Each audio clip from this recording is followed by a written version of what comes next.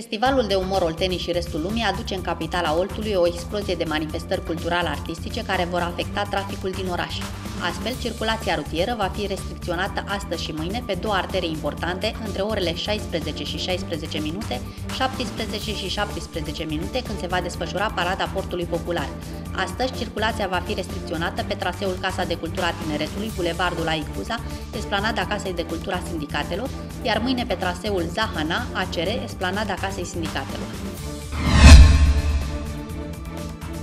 Primăria Slatina continuă distribuirea pachetelor cu alimente către beneficiarii programului operațional Ajutorarea persoanelor defavorizate, de data aceasta pe liste de suplimentare.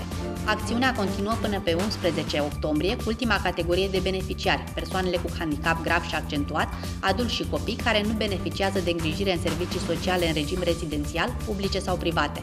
Locul de distribuire este același, cantina Colegiului Tehnic Ion Mincu, de luni până joi, între orele 8-16, iar vineri între orele 8-14. 6 ore s-au luptat ieri după amiază pompierii din cadrul gărzii Vișta pentru stingerea unui incendiu de furaje izbunit în comuna Gurapadini. Salvatorii au găsit în flăcări aproximativ 200 de tone de balos de lucernă depozitați în curtea unei societăți comerciale.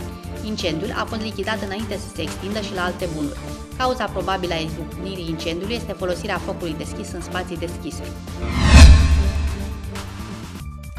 Pentru a veni în sprijinul tinerilor care folosesc rețeaua de socializare și să-i ajute să prevină riscul de a cădea victime ale infracțiunilor în mediul online, Direcția Generală de Asistență și Protecția Copilului Olt organizează evenimentul Facebook-ul Prieten sau Dușman.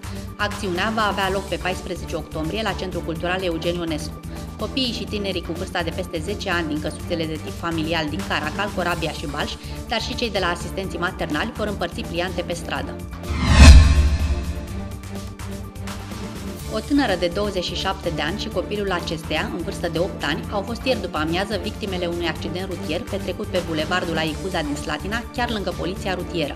Cele două victime s-au ales în urma impactului cu lovituri la picioare, după acordarea îngrijirilor medicale de către un echipaj mur și personalul de pe ambulanță fiind transportate conștiente la unitatea primiri urgențe Slatina.